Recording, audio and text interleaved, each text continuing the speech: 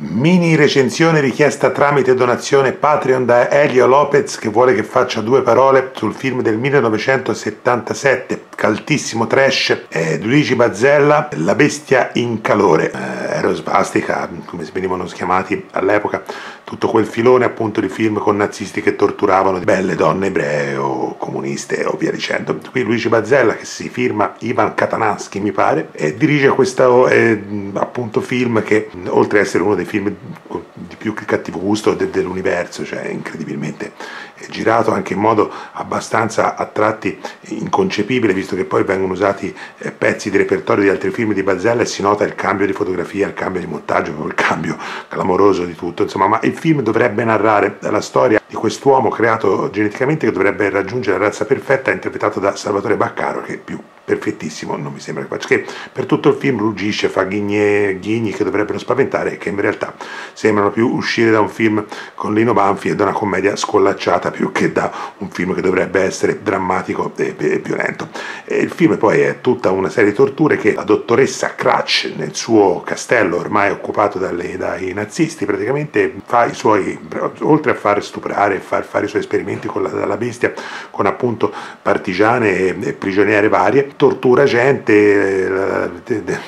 la deflagra, insomma la trama è tutta qui, poi ci sono il classico gruppo di partigiani che dovrebbe eh, salvare il tutto con l'aiuto di un pete, ma è, chiaramente la trama è un, una scusa per Bazzella per in realtà mettere in scena varie torture, tra cui quella famosa fuoco e la, la, il secchio sulla pancia col topo che si deve fare, eh, diciamo così, strada attraverso il corpo della giovane fanciulla, sono 6.000 poi momenti che vorrebbero essere appunto splatter, le dita strappate, le unghie e via dicendo. Il film è come al solito di un cattivo gusto allucinante, però è veramente è moralmente discutibile ed è una, una, delle cose però più trash che mi sembra che io non, non smettevo di ridere dall'inizio alla fine nonostante l'argomento sia tro- trattato sia veramente eh, complessissimo anche l'idea appunto che venga da film meravigliosi come Il portiere di notte, eh, Salò oppure Salon Kitty eh,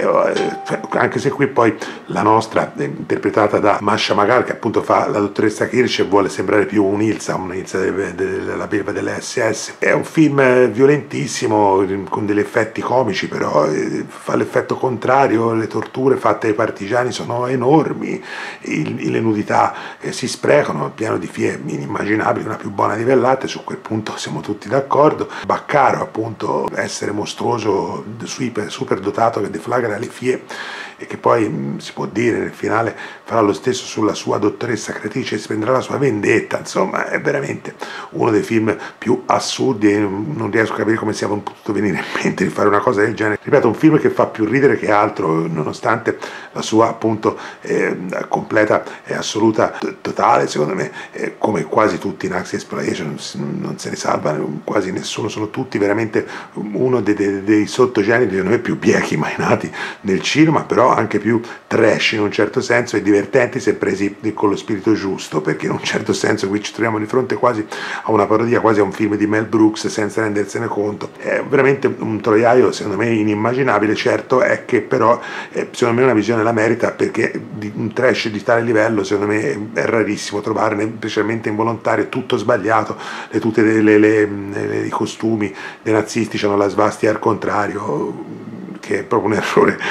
clamoroso. Siamo di fronte a un'opera incredibilmente brutta, incredibilmente malfatta e sciatta in tutte le sue situazioni. Le scene d'azione sono deliranti, come ho detto le scene di tortura sono messe a caso, le scene di sesso idem. Quindi un film veramente incredibile del quale ringrazio Elione di avermi fatto parlare perché è qualcosa di quale probabilmente non avrei mai parlato in vita mia. Se amate il trash, la bestia in calore probabilmente fa per voi. Se come me comunque reputate il nazismo e le sue torture, le sue cose una cosa seria, il film un po' potrebbe anche irritarvi, però veramente poi alle facce e alle nudità di Baccaro non si può altro che ridere e pensare qui sono completamente fuori di testa. Poi quando si vede gli inserti chiari di altri film di Bazzella capiamo che siamo di fronte veramente a qualcosa di indescrivibile e che come discutevamo appunto con Olli e con Elio comunque vale di più della visione di Avengers Endgame. Ecco, è più divertente questo di quello e questo è abbastanza inquietante. Gli effetti splatter sono veramente risibili e il tutto è completamente fuori di cervello così tanto appunto forse da risultare